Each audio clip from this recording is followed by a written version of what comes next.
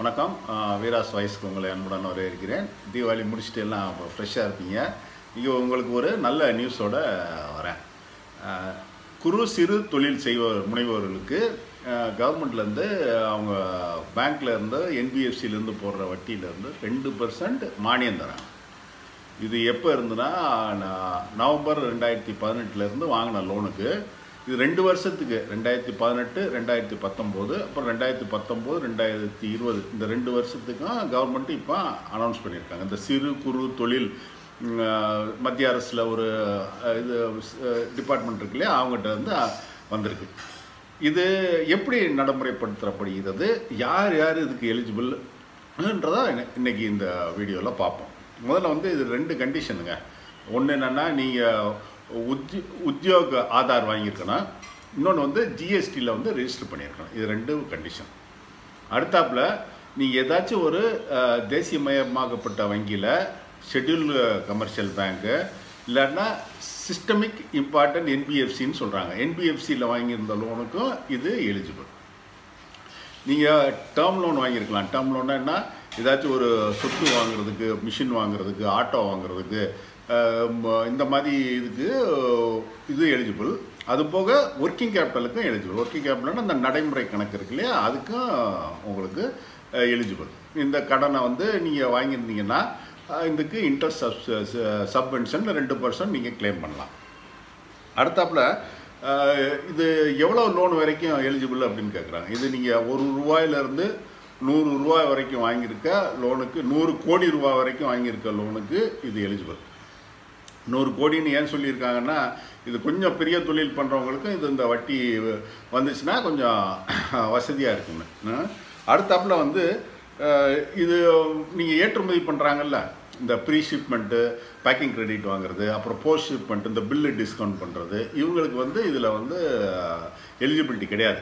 ஏன்னா அவங்களுக்கு ஏற்கனவே அந்த மாதிரி கடன்களுக்கு இன்ட்ரெஸ்ட் சப்வென்ஷன் கொடுத்தா ப்ரீ ஷிப்மெண்ட் போஸ்ட் ஷிப்மெண்ட்டு கொடுக்குறாங்க.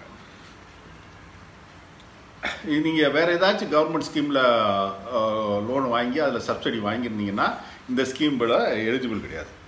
இதில் இன்னொரு முக்கியமான கண்டிஷன் என்னன்னா நீங்கள் வாங்கியிருக்க லோனு இது வரைக்கும் பேங்க்கில் வாங்கியிருந்தாலோ என்பிஎஃப்சியில் வாங்கியிருந்தாலோ இதை ஷெட்யூல் கமர்ஷியல் பேங்க்கில் வாங்கியிருந்தாலோ அது வந்து டிஃபால்ட் ஆகிருக்கக்கூடாது என்பிஏ ஆகிருக்கக்கூடாது இந்த பீரியடில் என்பிஏ ஆயிருந்துச்சுன்னா இதுக்கு எலிஜிபிலிட்டி இல்லை.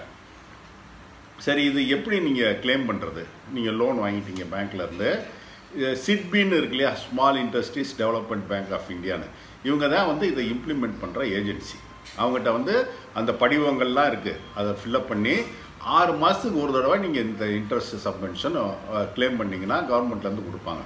இதில் ஒரே ஒரு ரைடர் என்ன கவர்மெண்ட் கொடுத்துருக்காங்கன்னா எங்கிட்ட வந்து இந்த சப்சிடி அமௌண்ட் இருக்கிறத வரைக்கும் தான் கொடுப்போம். அது எக்ஸ்ட்ரா இது ஆகிட்டா கொடுக்க மாட்டோம்னு இந்த சிட்பி எல்லாருமே சொல்லிடணும்னு சொல்கிறாங்க இதை வந்து தொள்ளாயிரத்தி அறுபத்தஞ்சு கோடியோ என்னமோ இதுக்கு ஒதுக்கியிருக்காங்க.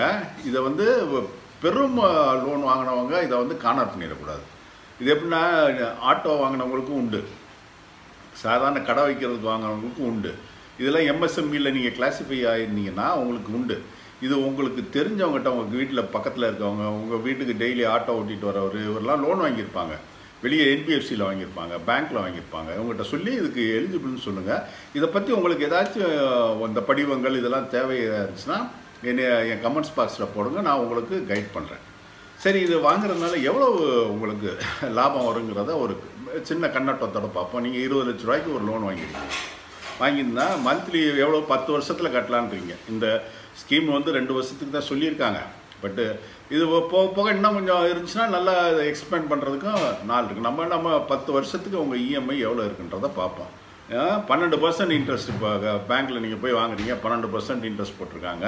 உங்கள் இஎம்ஐ எவ்வளோ வருமா? இருபத்தெட்டாயிரத்தி அறநூற்றி தொண்ணூற்றி நாலு ரூபா வரும்.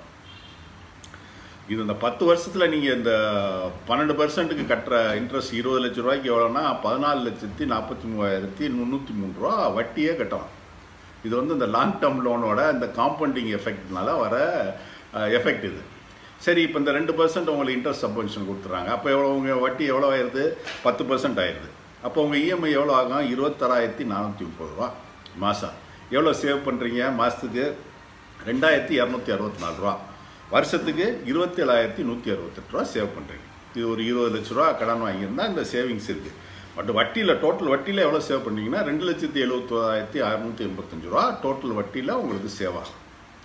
இந்த ரெண்டு பர்சன்ட் மானியங்கிறது ஒரு பெரிய விஷயம் தான் அது உங்களோட லேபர் செலவு எலக்ட்ரிசிட்டி பில்லு இதுக்கெல்லாம் வந்து யூஸ் பண்ணுறதுக்கு ரொம்ப வசதியாக இருக்குது இது க கவர்மெண்ட் கொடுத்த ஒரு நல்ல ஸ்கீமு இந்த ஸ்கீம் டீட்டெயில்ஸை இந்த வீடியோவோட அவங்களோட சர்க்குலரை வந்து நான் அட்டாச் பண்ணியிருக்கேன்.